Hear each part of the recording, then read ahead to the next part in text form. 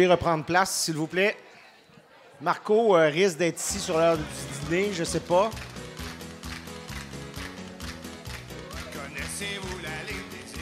Marco, est-ce que tu quittes ou tu restes avec nous pour l'heure du lunch?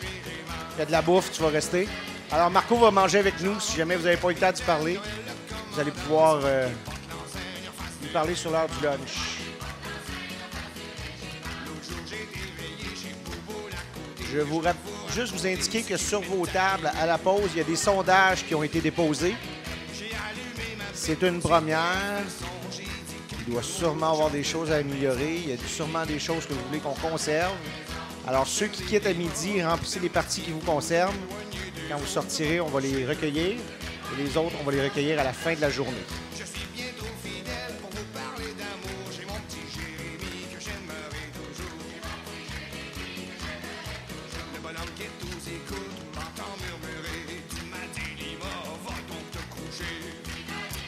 Alors, je demanderai votre attention.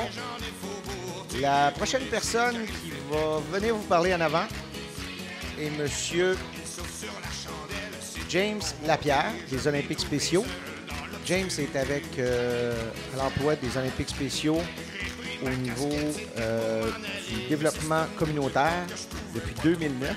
Et c'est quelqu'un qui a vécu les 2002 et qui a vécu le défi sportif à ses premières années. Alors, il en a vu 29.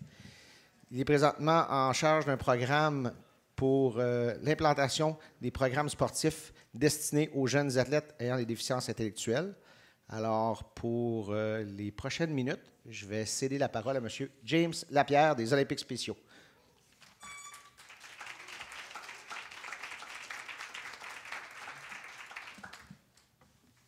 Merci beaucoup, Maxime. Ça fait, euh, ça fait du bien de regarder autour de la salle puis voir des amis. Hein?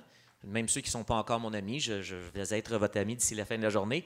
Mais euh, je vois beaucoup de, collaborateurs, de partenaires, d'enseignants, d'enseignantes des différentes écoles avec qui on a fait euh, des partenariats au niveau du programme scolaire. Donc, c'est ça. J'ai commencé, en fait, aux Olympiques spéciaux à l'âge de. Ben, en fait, en 1981, quoi. Puis, comme entraîneur donc à l'âge de deux ans. Et puis, euh, non, c'est pas vrai, à, de, à l'âge de 17 ans. Et euh, j'étais là au premier défi sportif qui se sont tenus au centre Gadebois en 84, je crois, 85. Donc, euh, j'étais entraîneur en natation.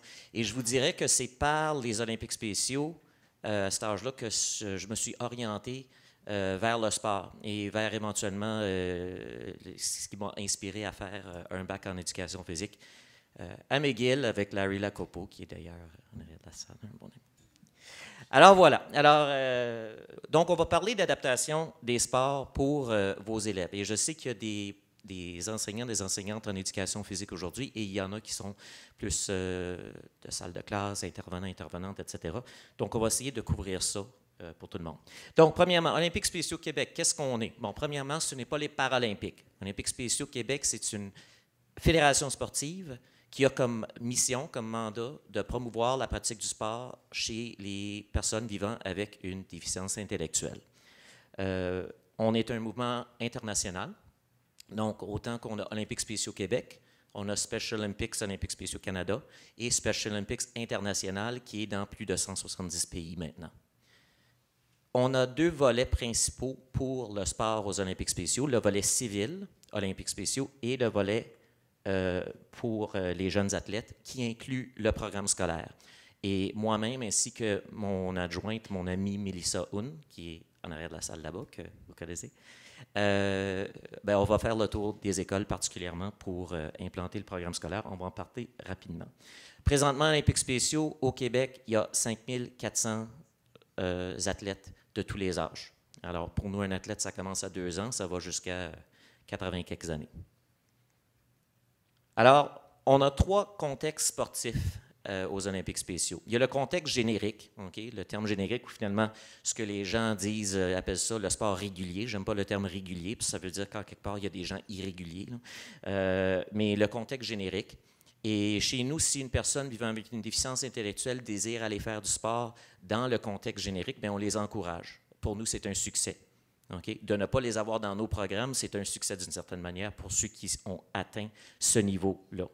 Il y a le niveau civil olympique spéciaux. Civil, pour nous, ce que ça désigne, ce sont tous les athlètes qui vont participer à des programmes qui sont gérés par des bénévoles qui opèrent ces programmes-là le soir et les fins de semaine. Et ils s'entraînent en vue d'aller à des compétitions du circuit civil olympique spéciaux. Il y a plus de 80 compétitions par année et euh, ils vont aller participer à ces compétitions-là et éventuellement, ils, peuvent aller à des Jeux provinciaux, des Jeux nationaux, internationaux olympiques spéciaux dans le circuit civil. Mais également, on a parti le programme scolaire olympiques spéciaux. Alors, c'est principalement c'est ce que je fais avec Milissa. On passe beaucoup de nos journées de la semaine dans des écoles euh, avec euh, les gens ici, puis d'autres partout au Québec. Alors, le programme scolaire olympiques spéciaux a débuté en septembre 2009 avec euh, des petits projets pilotes. L'idée derrière ça, c'est d'essayer d'aller chercher le plus de jeunes athlètes possible pour qu'éventuellement ces athlètes-là en commençant à faire du sport à l'école avec nous, ils vont pouvoir éventuellement euh, graviter, s'ils le désirent, vers le circuit civil.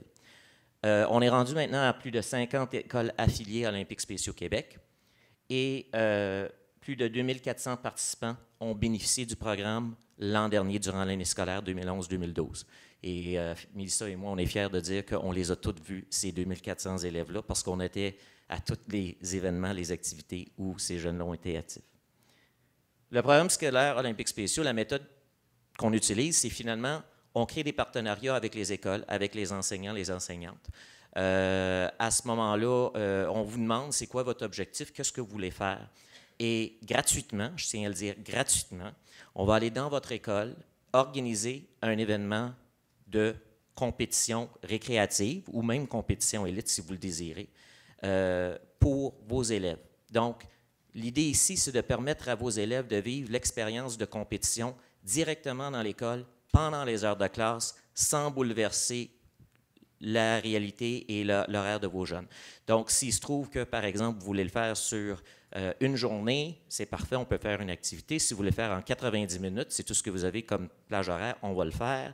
Si vous voulez choisir un sport donné que vos élèves n'ont jamais fait, on va trouver un sport qui a de l'allure, on va s'asseoir avec vous, on va déterminer euh, les objectifs, c'est quel type d'activité, c'est quoi vos objectifs. En fait, bref, tout ça, ça se fait gratuitement et on vous rencontre et on vient organiser en bout de ligne un événement amusant, euh, positif pour vos élèves et qui ressemble un peu à ça.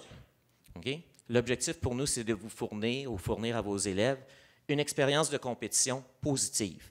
Alors ici, ce qu'on voit, c'est une compétition d'athlétisme compétition d'athlétisme qui a eu lieu euh, euh, une belle journée du mois de mai. Et ben, vous voyez, ce n'est pas vraiment une piste d'athlétisme officielle qu'on a. On est allé avec les moyens qu'on avait. On est allé à un parc qui n'était pas loin de cette école-là. les corridors, c'était organisé avec les petits cônes que vous avez tous dans vos gymnases. on a mis des dossards, par exemple, parce que la, prof voulu absolument que ce soit un événement officiel olympique. Euh, et on a modifié certaines choses parce que pour tous ces élèves-là, c'était leur première expérience de compétition sportive. Puis on s'entend, là, ce sont des élèves qui ont quoi? 10 ans, 11 ans? Ils n'ont jamais vécu de compétition sportive. Et ça, c'est leur première expérience. Alors, c'est certain que pour nous, de les amener à un événement grandiose, ça aurait peut-être été, un peu trop pour eux, mais pour eux, c'était une première expérience. Et donc, c'est le type de choses qu'on fait. Et en bout de ligne, tout le monde quitte à la fin de la journée, de, à la fin de l'événement, avec un ruban de participation, un ruban de première, deuxième position, dépendant, euh, un certificat de participation, et euh, ça fait une belle journée, des, beaux souvenirs pour tout le monde. OK? Si vous voulez en entendre plus parler sur le programme olympique spéciaux scolaire, ben, on va être à une table euh, dans l'autre salle tout à l'heure à un kiosque. Mais là, maintenant, on va commencer à parler des adaptations du sport. Donc, les perceptions par rapport au sport. Puis ça, on parle de la société en général. Si on, regarde dans la société en général, quand les gens pensent à un sport, ils pensent à quoi? Hein? Un sport, ben, il faut que ça soit structuré. Il y a un terrain de basket avec des lignes, hein, avec la bouteille. Euh, il, y a, euh, il, y a, des règlements spécifiques. À, la course, tu ne sors pas de ton corridor, sinon tu es disqualifié. Euh, au hockey, il y, a, toutes, toutes, les réglementations par rapport au hors-jeu. Je ne sais pas si vous vous souvenez ce que c'est que le hockey, là, mais en tout cas. Il n'y a aucune place à l'erreur. Hein? Au sport, il ne faut pas que tu fasses une erreur parce que ça, ça peut te coûter cher. Puis malheureusement, ça, se manifeste beaucoup au sport amateur. Vous allez juste aller dans un aréna, puis euh, voir la réaction de certains parents quand le parent du gardien, quand il laisse rentrer le but avec 10 secondes à faire, ben là, non, il n'aurait aurait pas dû faire ça. Mais écoute, c'est un atome de 9 ans, on peut lui donner un break, mais non, il aurait pu gagner la game. le succès est mesuré et quantifié. La victoire, c'est le succès. Et si je veux avoir du succès dans le sport, je dois gagner. La victoire, c'est important. Et la bonne manière de faire un sport, c'est de le faire comme au niveau le plus avancé. On voit ça tellement souvent, des gens qui voient un sport à la télévision, puis là, ils vont aller voir leur enfant jouer au soccer à 7 ou à 11 contre 11 de U11, puis ils vont se dire, ben là, il va falloir qu'ils fassent des jeux comme on a vu à la télé euh, l'autre jour. OK? Match de Coupe du Monde. Donc, ça, ce sont les perceptions générales que les gens ont par rapport au sport. Je sais qu'aujourd'hui, je, prêche aux convertis, donc je sais que vous savez que c'est autrement, mais dans la société, ça ressemble un peu à ça. Les gens voient un sport, ils pensent tout, de suite qu'est-ce qui se passe à RDS, c'est comme ça que le sport devrait être exécuté. Je vais vous poser la question rapidement. Qu'est-ce qui fait qu'un enfant va aimer un sport? Le plaisir, OK? Par ça. Le dépassement, OK? Un certain, le fait d'avoir un certain défi, oui. Et pas juste un défi, mais un défi sportif. Le quoi? Des coéquipiers, des amis, oui. OK. Ben, j'en ai, j'en ai trouvé moi aussi. Il faut que ce soit amusant. Il faut qu'il y ait quand même un certain défi pour l'enfant. Hein. Si c'est plate, euh, faut que ça soit actif. Je pense que comme prof d'éducation physique, on est tous d'accord qu'il faut qu'un sport, que ça, bouge, il faut que ça soit actif. Il faut qu'il y ait une certaine chance de réussite. Il faut qu'il y ait la possibilité de s'améliorer. Il faut qu'il y ait de la valorisation. Quand il s'améliore, il faut qu'on lui dise qu'il s'améliore. puis ça, ça va mener à une, une augmentation de l'estime de soi et de la confiance. Puis je pense qu'à la base, il faut que ça soit intéressant. Si un enfant n'est pas intéressé à faire un sport, ben, ça va être difficile l'intégrer, mais à la suite de tout ça, si en quelque part il y a certains de ces points-là qui n'ont pas été atteints, ça se pourrait qu'il perde l'intérêt aussi, l'enfant. Donc, est-ce qu'on est, d'accord que si un enfant n'aime pas un sport, il risque de ne pas aimer le sport en général? Et le danger à ce moment-là, c'est que l'activité physique soit quelque chose que l'enfant ne veuille pas faire. Et ça, on a vu des exemples. On a vu des exemples au niveau civil, du sport générique, OK? avec des enfants qui sont mis dans un sport comme le hockey sur glace, et 12 mois par année, puis à 12-13 ans, ils décident d'attitude, c'est terminé, je veux plus faire ça, puis ils associent l'activité physique à quelque chose de négatif, et ils font plus d'activité physique. Ça pourrait arriver. Il est nécessaire de mettre l'enfant dans un contexte aussi où il pourra aimer un sport. Et pouvoir aimer un sport, ben, il faut que ça soit ça. Pour qu'il aime un sport, il faut qu'on rencontre ces points-là. Donc, il faut pouvoir le mettre dans un contexte où il va aimer le sport. Et donc, c'est là où c'est nécessaire de procéder à de l'adaptation.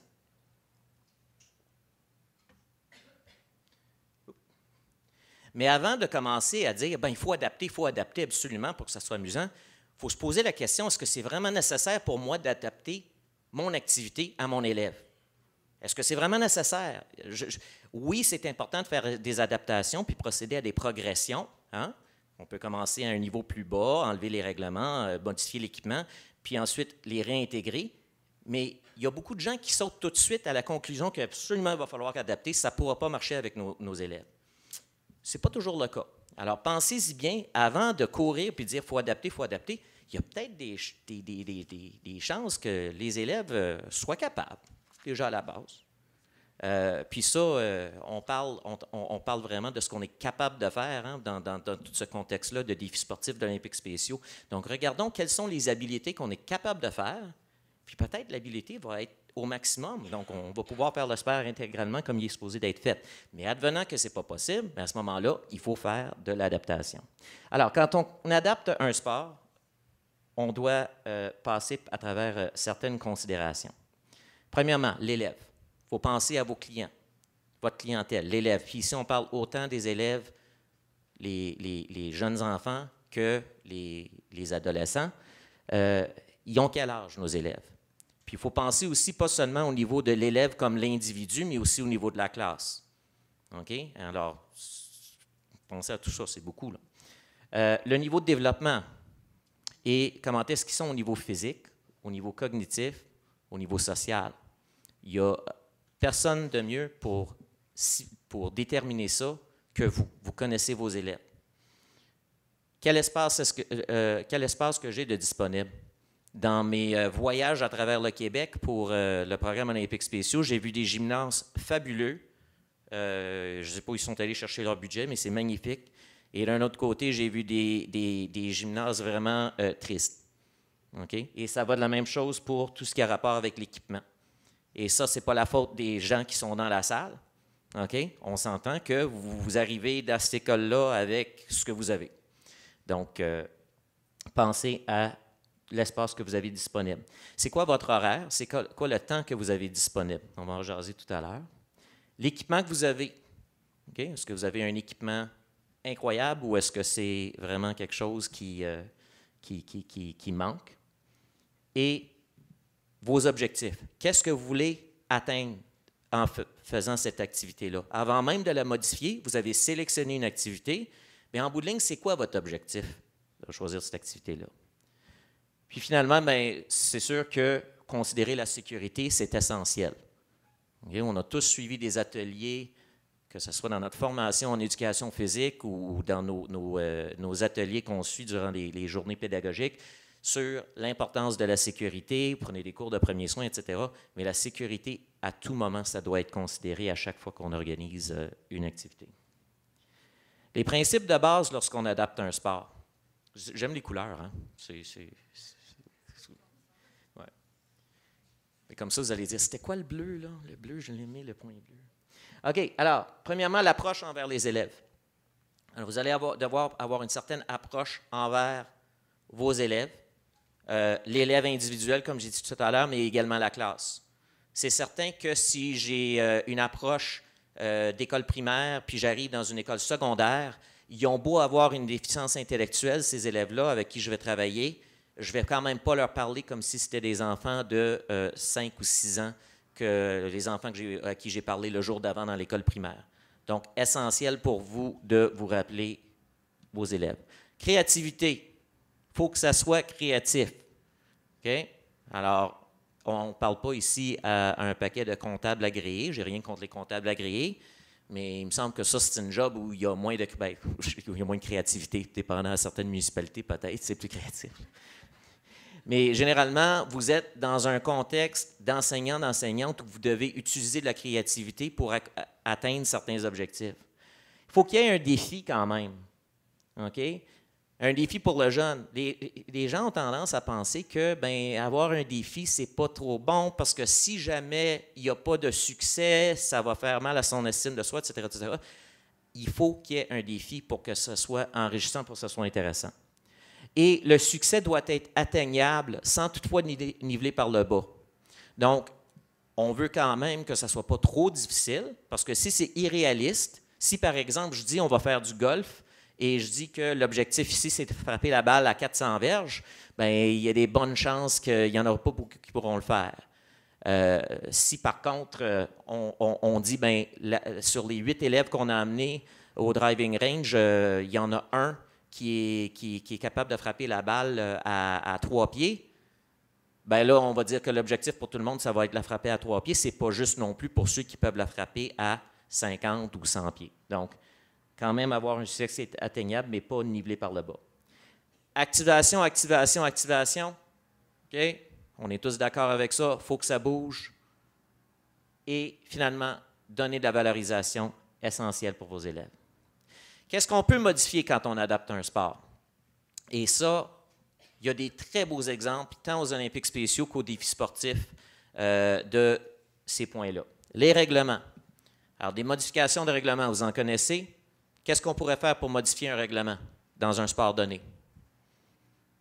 Non? Il n'y en a pas? Si, par exemple, on dit au basketball, marcher avec le ballon, si on fait ça pour une première fois, puis on met les jeunes dans une situation que tu n'as pas le droit de marcher avec le ballon du tout, on risque d'avoir beaucoup d'arrêts de jeu. Et ce n'est pas nécessairement notre avantage pour l'acquisition de cette tâche, pour, d'autres tâches qu'on peut faire au basketball, de constamment appeler la règle de marcher avec le ballon. Donc, peut-être, une chose qu'on pourrait faire, c'est permettre quelques pas, par exemple. L'équipement, moi, ce que j'adore aux défis sportifs, dans tous les sports qu'ils font, c'est euh, le volleyball avec la grosse ballon, OK? le ballon baudruche. Moi, j'adore ça. Je trouve que c'est magnifique. Ça permet une activation euh, complète. Ça permet également euh, à tous les jeunes de pouvoir participer à cette activité-là.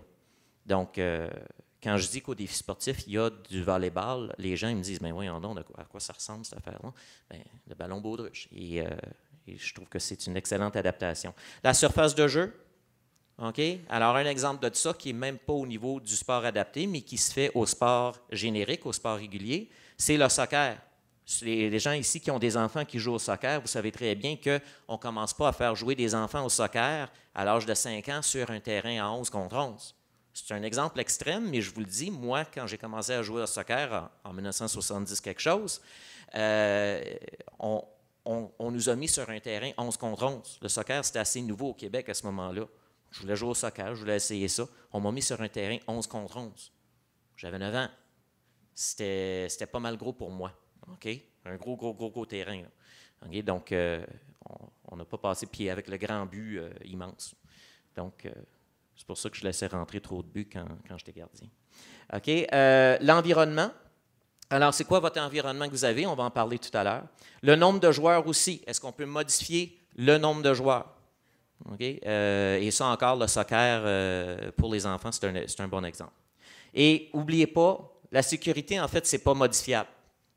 C'est vraiment un point qu'il faut se rappeler constamment. Bon, le sport au niveau civil. Il y a certaines choses qui ne sont pas négociables. Quand on fait une compétition d'athlétisme olympique spéciaux civil, si on sort du corridor, on est automatiquement disqualifié sur un 100 mètres, par exemple. Euh, en natation, quand on va nager, on nage dans une piscine conforme, réglementaire, qui mesure au moins 25 mètres ou 50 mètres. Et c'est également la même règle aux Olympiques spéciaux. Une compétition olympique spéciaux civile se fait dans une piscine de 25 mètres. Le basketball, ben, il y a marché avec le ballon, il y a d'autres règles aussi. Mais on, oublie marcher avec le ballon, j'en ai parlé tout à l'heure, mais je vais revenir avec trois exemples de choses qu'on a fait dans le programme olympique spéciaux scolaire pour justement permettre des adaptations. Donc, athlétisme. On a dit que le corridor est obligatoire. Pour une première expérience, on l'a montré tout à l'heure, les jeunes, pour une première expérience d'athlétisme, de course, c'est certain qu'on va être plus ouvert à permettre les jeunes de sortir du corridor. Mais même là, si on fait les corridors exactement de la même grandeur que sur un terrain d'athlétisme standard, le jeune a beau essayer tout ce qu'il faut, pour ne pas sortir de son corridor, il y a des très bonnes chances qu'il sorte pareil parce qu'il n'est pas encore équipé avec les bonnes techniques, il n'a même pas encore expérimenté. Alors, qu'est-ce qu'on a fait? Bien, on s'est arrangé pour que les corridors soient un peu plus larges. Donc, si jamais le, jeune, sur son 100 mètres, il se retrouve en fait à courir 110 mètres, hein, parce qu'il fait plein de zigzags, bien, au moins quand il zigue, puis il zague, puis il sort un peu à droite, il risque de pas nécessairement sortir de son corridor. Et là, à la fin de la course, quand il aura traversé la ligne d'arrivée, en plus de dire bravo, tu as terminé, en plus de dire bravo, ton temps, c'est ça, bien, en même temps, on était capable de dire Hey, puis en plus, tu n'as pas sorti de ton corridor. Wow!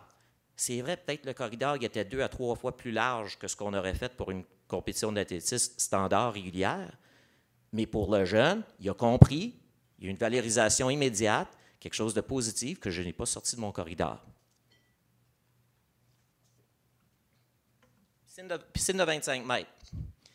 Alors, encore une fois, quand je dis on, est prêt à venir à ton école faire une compétition de natation, les gens vont dire Tu n'as pas vu ma piscine, toi. Je n'ai pas une piscine de 25 mètres, je n'ai pas une piscine de 50 mètres, je ne suis pas équipé avec des chronomètres puis des, des, systèmes de. Et pourtant, je, mis ici, de l'école de Tournesol, Marc-André, où il y a deux ans, on, nous a demandé est-ce que vous pourriez venir, faire de la natation à notre école? C'est certain que ta piscine mesure combien, Marc-André? 12 par 8 12 mètres de long par 8 mètres de large. Alors, à ce moment-là, ça devient un peu difficile, puis il n'y a pas de corridor pour placer des câbles. Donc, on s'entend pour, euh, si tu as un élève qui est capable de plonger, il frappe le mur à l'autre bout. Là. Sauf qu'il fallait qu'on ait un certain défi dans cette piscine-là pour ces élèves-là. Alors, ce qu'on a fait, c'est qu'on a dit, bien, une course de natation, ça n'a pas besoin, premièrement, d'être dans une piscine de 25 mètres. Et ça n'a pas besoin non plus d'être euh, une course de vitesse. Ça peut être une course qui est plus endurance. Et donc, ce qu'on a fait, c'est qu'on a passé trois jours là-bas, Mélissa et moi, assis sur le bord de la piscine en, en puis en short, et avec un chronomètre, mais avec également des clipboards puis une liste de tous les élèves. Puis quand les classes rentraient pour leur heure d'éducation physique ou leurs 45 minutes d'éducation physique, ils allaient dans l'eau. On partait le chronomètre, puis il fallait qu'ils nagent pour un certain temps. Tout le monde ensemble, un certain temps. Alors, une classe environ, on va dire, pour faire une explication, 10 élèves nageaient en même temps. Et on les suivait, c'est-à-dire qu'on était assis sur nos chaises, et à chaque fois qu'un élève touchait au mur à l'autre bout, on faisait une coche à côté de son nom. OK? En bout de ligne, on se retrouvait à avoir 8 mètres multiplié par le nombre de coches, ça donne X nombre de mètres pour cet élève-là. Et ce qu'on a fait en bout de ligne, c'est que chaque classe a passé individuellement sur les trois- deux, trois jours. Et à la fin de tout ça, on a réussi à faire, à quantifier ça pour dire, bon, les élèves qui ont été ceux qui ont eu le plus de distance, eux, on va leur donner ruban premier, deuxième, troisième. Et ça, cet objectif-là, ça a été discuté avec Marc-André. Qu'est-ce qu'on veut, valider? Qu'est-ce qu'on veut valoriser pour ces jeunes-là? Est-ce qu'on veut aller chercher une élite? Est-ce qu'on veut... Donc, il y avait cet élément-là de compétition individuelle. Mais ensuite, on a fait une moyenne de distance pour chaque classe et on a identifié une classe championne qu'on a annoncée à la cérémonie clôture. Puis en plus de ça, on a eu un objectif d'école où on a dit l'école au total, on a réussi à nager 40 km. Et à ce moment-là, on a réussi à montrer ça aux élèves jusqu'où que ça allait 40 km à partir de l'école de tournesol. Donc, si on dit, oui, on était allé à l'école de tournesol faire une compétition dans leur piscine de 12 par 8, les gens vont dire, ben, comment tu as fait ça? Ce n'est pas vraiment conforme. Ce n'est pas conforme au règlement civil. Mais on a adapté les règlements pour que ça puisse être, leur faire vivre cette expérience-là. Pour le basketball, à l'école de l'Étincelle, il y a quelques années, on nous a demandé de faire du basketball avec six élèves. Il y avait six élèves qui montraient un certain intérêt au basketball, mais on s'entend que jouer, faire un sport d'équipe avec ces élèves-là, c'est vraiment pas évident. Mais ces six élèves-là, on les a ciblés. Donc, ce qu'on a fait, c'est qu'on a sorti des, les, petits paniers. OK? Pas les grands, les petits. Et on a mis des dossards rouges sur une équipe, les trois, et on a mis des dossards verts sur l'autre équipe. Donc, on a les rouges contre les verts. Et là, il fallait maintenant qu'on s'assure que les élèves puissent comprendre le concept d'aller mettre le ballon dans le panier adverse. Mais le panier adverse, c'est lequel? Ben, Ce qu'on a fait, c'est que pour les verts, on a mis un gros carton vert sur le panier où il fallait qu'il aille. Et pour les rouges, on a mis un gros carton rouge sur le panier où il fallait qu'il aille. Fait que dans la convention régulière, les gens diront ben, le panier rouge, c'est celui-là que tu défends. Mais non, c'était plus facile pour nous faire comprendre à ces élèves-là que toi, tu amènes le ballon, tu es rouge, tu amènes le ballon dans le panier rouge. Et ça a parti à partir de là. Et peu à peu, on a commencé à instaurer tout le concept de passe, de jeu d'équipe. C'est sûr, ce n'était pas les Harlem Globetrotters à la fin, mais on a quand même passé quelques sessions cet hiver-là, en décembre 2010, à faire du basketball avec six élèves. Et euh, ils s'en souviennent. Votre contexte, c'est quoi votre contexte? Premièrement, votre environnement. Qu'est-ce que vous avez comme gymnase? Qu'est-ce que vous avez comme corridor? Parce qu'on peut utiliser les corridors aussi. Ce n'est pas nécessaire que ça soit absolument fait dans un gymnase. Encore une fois, sécurité, sécurité, sécurité. Si votre corridor n'est pas sécuritaire pour faire des, activités comme le saut en longueur euh, sans élan ou euh, euh, le tir sur une cible, bien ça, c'est sûr qu'on ne va pas aller là. Mais ça se pourrait qu'un corridor puisse être utilisé. L'équipe d'athlétisme de mon garçon puis de ma fille euh, à, l'école, c'était un corridor circulaire. Je s'entraînais à courir dans les corridors après les heures de classe dans le temps. Donc, euh, qu'est-ce que vous avez comme cours d'école, comme parc avoisinant? Votre gymnase, c'est celui en haut à droite ou est-ce que c'est celui en bas? C'est un gymnase à Tchernobyl en passant. Il y en a qui disent non, non, c'est mon gymnase, je suis convaincu. Non. Autre chose à considérer dans votre contexte, qu'est-ce que vous avez de disponible comme équipement? Des ballons, des cerceaux, des cônes, etc. En passant, parenthèse, Olympique Spéciaux Québec, on a un très beau programme de, financement euh, afin de vous aider à acheter de l'équipement. Parenthèse fermée, venez nous voir à la table tout à l'heure. OK. Euh, horaire et fréquence. Vous avez combien de minutes d'activation? On ne parle pas ici de votre horaire d'éducation physique. Moi, quand je vais dans une école, je dis c'est quoi votre horaire d'éducation physique? On nous dit euh, on a de 9h10 à 10h05. OK, mais je pose toujours la question est-ce que c'est 9h10 dirigé vers le gymnase jusqu'à 10h05 Il faut qu'il soit de retour en classe? C'est quoi le temps d'activation, le temps qui change dans certains cas? Donc, souvent, le 9h10, ça se retrouve à être plus du 9h20, 9h25. Et le 10h05, bien, finalement, il faut qu'il sorte du gymnase à, 9h, à 10h moins 5 afin d'être en classe à la bonne heure pour 10h05. Donc, il faut considérer combien de minutes d'activation est-ce que j'ai. Parce que vous allez avoir des déceptions, vous n'allez pas pouvoir rencontrer des objectifs de, sportifs si vous n'êtes pas capable de considérer combien de temps d'activation vous avez. Euh, la clientèle, c'est quoi le niveau, c'est quoi l'âge? Et vos objectifs, bien là, ça, c'est à vous de déterminer ça. Vous connaissez vos élèves, vous connaissez le contexte, vous connaissez vos enseignants, vos enseignantes de salle de classe. Est-ce que l'idée ici, c'est d'identifier une élite? C'est correct si c'est ça. Si vous voulez cibler, c'est qui les trois meilleurs coureurs masculins, les trois meilleurs coureurs féminins dans l'école, c'est correct si c'est identifier une élite, préparer les élèves pour cette éventualité-là, mais ce n'est pas grave. Mais si ce n'est pas ça, est-ce que c'est vous voulez juste une participation maximale? Est-ce que vous voulez donner une valorisation immédiate? Ça dépend de votre clientèle. Est-ce que c'est question d'intégration sociale? Il y a peut-être certaines personnes qui sont dans une école où il y a des élèves euh, du secteur régulier. À ce moment-là, c'est une excellente opportunité d'impliquer des élèves du secteur régulier dans une activité jumelée avec des élèves de votre secteur spécialisé. Euh, en termes de persévérance, le, thème de la persévérance, c'est gros ces jours-ci, on le voit beaucoup. Est-ce qu'il y a des éléments de persévérance que vous voulez faire? Transmettre des valeurs sociales particulières. Euh, est-ce que c'est pour la mise en forme? il y a beaucoup de, suivi que vous pourriez faire tout le long de l'année pour montrer aux élèves comment ils ont progressé, puis vous pourriez faire des tests physiques pour leur montrer qu'ils ont amélioré euh, généralement leur mise en forme. Ou est-ce que c'est vivre un événement, événement rassembleur? C'est possible de vivre un, événement rassembleur, d'avoir un événement rassembleur pour toute votre école et de rencontrer d'autres objectifs qui sont là. Et juste un exemple, quand nous, on va dans votre école, on va faire une petite cérémonie d'ouverture si vous le voulez, puis une petite cérémonie de clôture si vous le voulez, juste pour souligner que oui, on, va faire cette activité-là. Donc, ça se retrouve à avoir différentes activités comme ça. Donc, le saut en longueur en haut à gauche, vous voyez que euh, la jeune demoiselle est en train de sauter, puis euh, c'est pas sur nécessairement un terrain conforme. Euh, les lignes sont faites avec des cônes oranges. Euh, en haut à droite, c'est une compétition de dynamophilie qui n'a pas été faite sur le fly en passant, dans le sens que c'est pas quelque chose qu'on est arrivé, on a dit on va vous mettre sur un banc puis on va vous mettre 300 livres sur la barre. C'était pas ça. Ils se sont entraînés progressivement. Il y avait la chance d'avoir un prof d'éducation physique qui, lui, est un des champions, un champion du monde dans une catégorie de, dynamophilie. Donc, il était chanceux. Mais lui, il avait une spécialité. Il a ciblé certains élèves. Les élèves voulaient être grands et forts comme lui.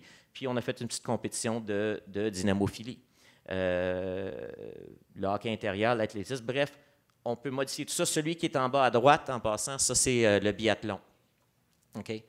Alors, on n'a pas donné, on n'a pas fourni des, euh, pistolets euh, à nos élèves, ne vous inquiétez pas.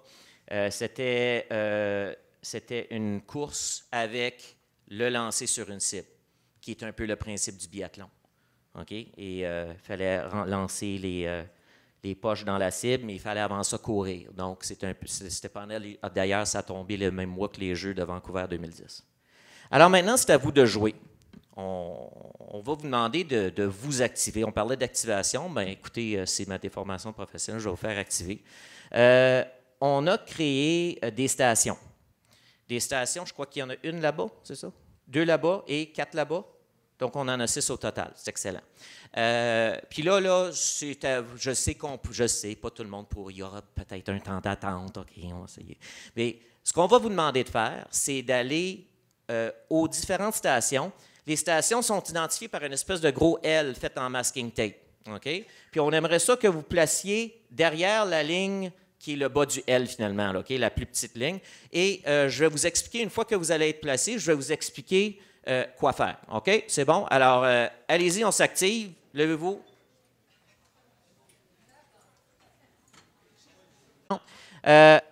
Est-ce que, premièrement, il faut se poser la question, même nos élèves qui ont des certaines limitations, est-ce qu'à ce, moment-là, on doit absolument modifier l'activité?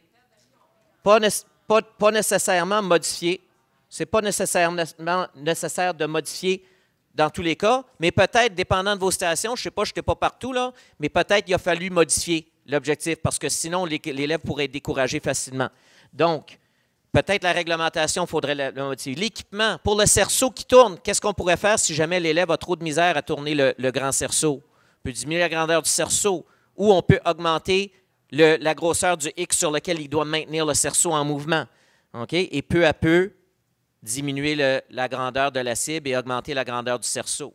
Donc, euh, la surface du jeu, le nombre de joueurs, l'environnement, etc., etc., tout en se rappelant de la sécurité. Donc, c'était un petit atelier physique amusant. Je vois que Béatrix, euh, c'était notre grande championne, d'après ce qu'elle nous a dit. Et euh, alors voilà. Alors, je vous encourage de penser à ça. Vous vous souvenez quand, il y a deux ans, l'avion, l'avion de ligne je ne sais pas si c'était United Airways, qui est parti de New York et il a fallu qu'il atterrisse sur la rivière Hudson. On se souvient de ça? OK? Le pilote, il s'est dit, OK, on n'a plus de moteur. On n'a plus de moteur. Mais il n'a pas dit qu'est-ce qu'on n'a pas. Il est tout de suite, il a tout de suite changé à l'approche qu'est-ce qu'on a de disponible? Qu'est-ce qu'on a? On a une rivière on peut atterrir notre avion. OK? on a encore du temps pour atterrir notre avion. Il, a, passé à travers toute, sa liste. Il s'est dit, bon, qu'est-ce qu'on a qu'on peut utiliser plutôt que ce qu'on a, ce qu'on a pu? C'est vrai qu'on n'a plus de moteur. Pour un avion, ce n'est pas évident. Mais le reste, qu'est-ce qu'on a de disponible? On a des options. Et c'est le message que je vous donne. C'est que vous avez toujours des options. Soyez original, soyez créatif. Même si votre gymnase n'est pas formidable, même si votre équipement n'est pas formidable, pensez à ce que vous pouvez faire. Regardez, on vient juste d'activer six stations ici ce matin là, dans un espace de, salle de, banquet. Vous êtes capable de faire quelque chose avec de l'équipement. Alors, je vous encourage à être créatif. Puis, je vous encourage également à venir me voir et venir voir Mélissa tout à l'heure à la table pour euh, nous voir. Si vous êtes un ami, un partenaire ou on est déjà allé dans une école, venez dire bonjour, ça nous fait toujours plaisir. Et euh, si ben, vous ne connaissez pas, vous voulez qu'on aille dans votre école, ben, écoutez, ça va nous plaisir. Puis c'est gratuit, c'est gratuit, c'est gratuit. Donc, euh, c'est ça. James Lapierre, voilà, voilà mon courriel, mon numéro de téléphone et on a plein de documents à vous donner. Sur ce, merci beaucoup et passez une belle journée.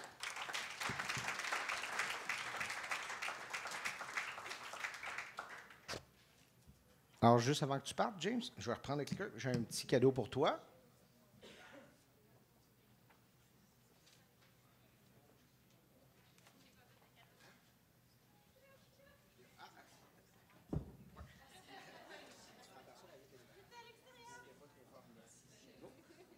Alors, merci à James, merci aux Olympiques spéciaux pour la présentation. Ce qu'on vous demande. C'est correct. Qu'est-ce que j'ai? J'ai ça. Qu'est-ce que je vais faire? Je vais le répéter.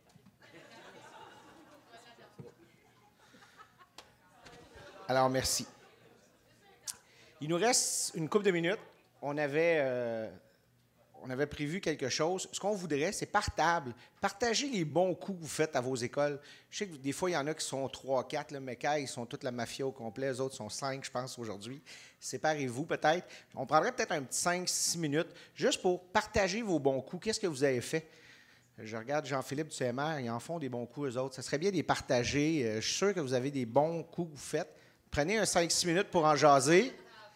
Puis euh, on vous revient avec la suite. On est dans les temps, le dîner est en train de se préparer, les kiosques sont en train de se monter. Fait qu'un 5-6 minutes à jaser sur vos bons coups, je. One, two, three, four. All the ladies on the floor. Pump the bass a little more. Give me, give me, give me more. One, two, three, four. soit à la marche, soit en fauteuil roulant, en marchette, en fauteuil roulant motorisé même. Donc, euh, et puis on a rendu ces courses-là finalement accessibles pour eux. Et la Coupe CMR, dans le fond, c'est un trophée qui, à la fin de ces six, euh, à la fin des sept courses, il y a une équipe qui remporte la, coupe. Euh, les gens ramassent des points pour chaque kilomètre euh, parcouru. Donc, les usagers ramassent 5 points pour un kilomètre, alors que les intervenants, eux, ramassent un point par kilomètre. Donc, à la fin, il y a une coupe qui est gagnée. Euh, fait que ça permet euh, à, toutes les régions, finalement, d'avoir une activité qui est intégrée à une activité régulière euh, et non pas ségrégée. Donc, c'est intéressant pour les usagers, c'est intéressant pour les intervenants. Alors, voilà.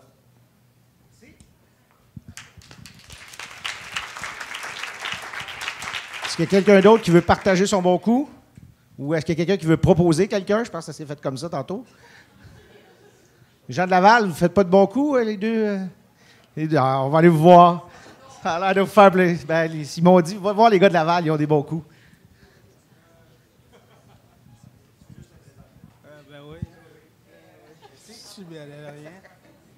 Bonjour tout le monde, euh, Jerry Lee Stephen de l'école Leblanc. Je travaille en team teaching avec euh, mon ami et collègue Larry Lacopo depuis euh, 7 ans. Oui, 8 ans. Euh, on fait du team teaching. En- on a 6 classes en intégration, c'est la déficience moyenne. Et on a 8 classes en soutien émotif. C'est le terme poli pour la psychopatho. Et euh, donc, nous, on jumelle nos groupes ensemble et on prend toujours les plus vieux avec des plus jeunes. Ce qui fait en sorte que l'évolution se fait euh, plus rapidement et ça semble marcher. Notre directeur nous, nous garde toujours ensemble donc, euh, depuis huit ans. Donc, euh, c'est notre bon coup. Un dernier bon coup. On a eu Rive-Sud, on a eu Rive-Nord. Y a-t-il quelqu'un de Montréal qui veut parler? Ah, on fait parler quelqu'un de Montréal. Merci. Euh, alors bonjour, mon nom est Ramdan. Euh, je suis enseignant à l'école Saint-Pierre-Apôtre, une école euh, spéciale. Euh, on a de la clientèle déficiente, on a de la déficience intellectuelle légère avec déficience, euh, légère avec troubles associés, moyenne, sévère à profonde.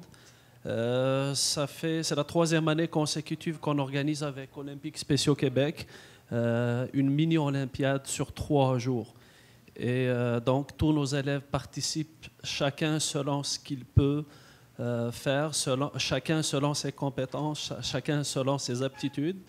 Et c'est un très, très beau, un très bel événement qui a vraiment un gros succès auprès de notre clientèle. Donc, euh, c'est ça que je voulais partager avec vous ce matin.